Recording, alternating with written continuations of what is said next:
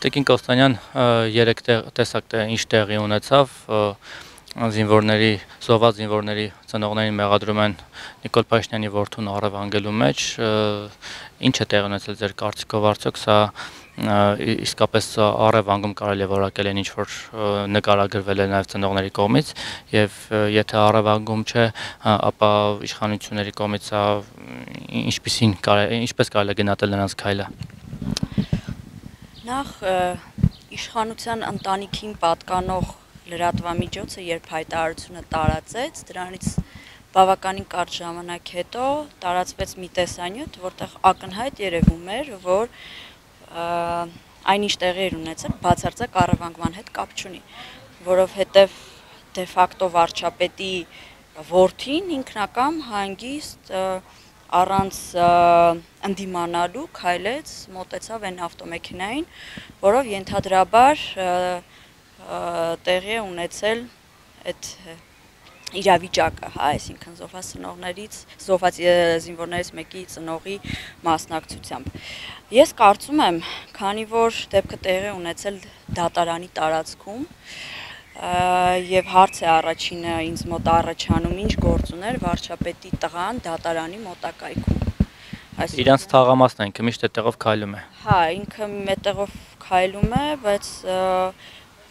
հնարավոր է, այսինքն դատարանի տարածքով էլ չանցնել, չեմ կարծում ճանապարհ այնպես է անցնում, որ հենց ուղիղ դատարանի մոտով է։ Եվ բնականաբար հաշվի առնելով, որ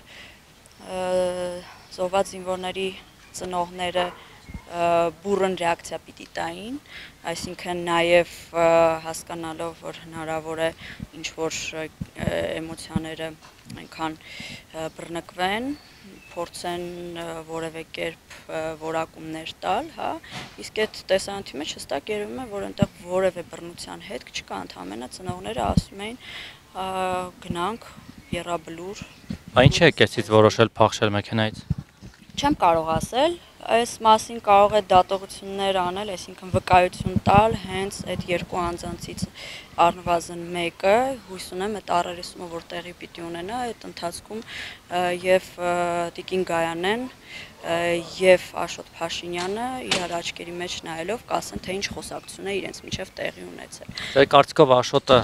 դիտավորյալ է տարածքով անցել լավ իմանալով ովքեր են այնտեղ հավաքված եւ հատուկ այնպես արել որ իր նկատմամբ այդպիսի իրադարձություններ տեղի ունենան, հա։ Ես կարծում եմ իմ կարծիքը այստեղ կարևոր չէ։ Կարևոր է որ չի կարելի բացառել նաև այդ տարբերակը, որ միգուցե դիտավորությամբ է անում։ Ինչ նպատակով Դե ամենաառաջին նպատակը, որ մտքից գալիս է, սա դրանք։ Սա դրանք ու ամենահետաքրքիրն է այն է, որ ցուցմունք, փաստորեն ցուցմունք է տվել ոստիկանական բաժանմունքում, որից հետո շատ արագ process է տեղի ունեցել, այն դեպքում, երբ որ Եռաբլուրում ամիսներ առաջ, երբ որ ծնողներին քաշքշում էին նույն ոստիկանները, միջև օրս չգիտես ինչու այդ գործին ընթացք չի տրվել, որևէ մեկը մեղավոր չի ճանաչվել, որևէ մեկը պաշտոնից չի ազատվել, ծառայողական քննություն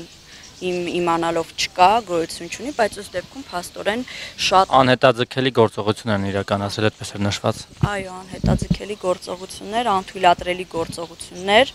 Տիկին Կոստանյան առնելու մարդկանց հոգեբանական վիճակը տեսեք այսօր Երևանից շատ է քննարկվում, որ եկեք միացեք ծնողների կողքը եղեք եւ գուցե հենց սա կայծ հանդիսանա որ բռնկվի շարժումը եւ գնան ինչ որ այսպես ավելի ռադիկալ քայլերի, բայց տեսնում ենք որ այստեղ շատ քիչ մարդ կա հավաքված, սա ինչով է պայմանավորված ըստ Երկրում շատ խորը անտարբերություն է Մենք ընդհանրապես, այսինքն հասարակության տարբեր շերտեր եւ հատկապես քաղաքական գործիչները միշտ նույն սխալն են կրկնում, սխալ գնահատելով իրավիճակները եւ ակնկալելով, որ հես այս այս այսպիսի մի իրավիճակ որ լինի, այդպես բոլորը ինքնական տներից դուրս են գալու ու մեծ շարժում է սկսելու։ Այդպիսի բան երբեք չի լինելու։ Մարդկանց այդ աշխատանք է պետք տանել եւ այդ աշխատանքը պետք է տանեն քաղաքական գործիչները, եթե իրապ իրապես նպատակ ունեն երկրում իրավիճակ փոխելու եւ բեկում մտցնելու եւ են ենթադրյալ շարժումը, որի մասին բոլորը խոսում են, այդ շարժում շարժման մեկնարկը տալու։ Երեք կարծես թե քաղաքական գործիչներ կային այդտեղ, հա- այստեղ հավաքված թե Երևանի հիվանդանոցի մոտ կային, թե մյուս վայրերում, որտեղ ծնողներն էին, այդ թվում падգամավորներ։ Սա քիչ է թե պետք է էլի լինեին Էլիգային։ Կարծում եմ պարտադիր է, որովհետև առնվազն գոնե ցույց են տալիս, որ աջակցում են բայց այս պահին լծակ ունեցող հա, այսինքն падգամավորը այն պաշտոնատար անձն է, որը լծակ ունի եւ այդ լծակները եթե կարող է օգտագործել օրինակ այս իրավիճակում որևէ կերպ այլ կերպ աջակցելու, այլ ոչ թե միայն ֆիզիկական ներկայություն ապահովելու կամ կանգնելու ոստիկանների եւ ծնողների միջև, որpիսի անթույլատրելի գործողություններ տեղի ունենան, կարող են իրենք իրենց լծակները, իրենց լիազորությունները սահմանում իրենց բոլոր գործիքները օգտագործել եւ այս կամ այն կերպ ազդեցություն ունենալ օրինակ այս process-ի վրա տեղի ունեցել ձերբակալություն, հա, Տիկին Գայանեն Հակոբյան պահում է ձերբակալվածների վայրում, եթե իրենք կարող են իրենց լիազորությունների շրջանակներում որևէ կերպ երաշխավորությամբ գոնե ազդել գործի վրա ազատ արձակեն, կարող են նաև դա անել։ Ինչ վերաբերում է ինչու մարդիկ չեն հավաքվում, հա, ինքնա մարդիկ ես չեմ մեղադրում ընդհանրապես ժողովրդին, որովհետև ամեն մեկը տարբեր պատճառներ ունի, դուրս չգալու, չի վստահում, մարդիկ կան ասում են այ եթե քաղաքական գործիչներ կան ուրեմն ստեղ մի բան է ինչի չեն վստահում էլի այսինքն մտածում են process-ը քաղաքականացնում են հիմա ես էլ որ խոսում եմ կարող եմ մեղադրեն որ քաղաքական գործիչները եկել են ու արդից օգտվում են այս ստեղծված իրավիճակը դուք այս բան փաստացի որովե քաղաքական թիմի անդամ չեք Ձեզ դժվար մեղադրել։ Չեմ, բայց քաղաքականությունից էլ անմասն չեմ մնացել մինչև օրս, այնպես որ, այսինքն եթե նույնիսկ բանը հասնի դրան, շատ հանգիստ կարող են մանիպուլացնել այդ իրողությունը։ Աշխատանք պիտի տարվի մարդկանց հետ եւ եթե օրինակ այս տեսակ հարցը պիտի դառնա, հա, համաժողովրդական շարժման մեկնար, կարող է նաև դա դառնալ։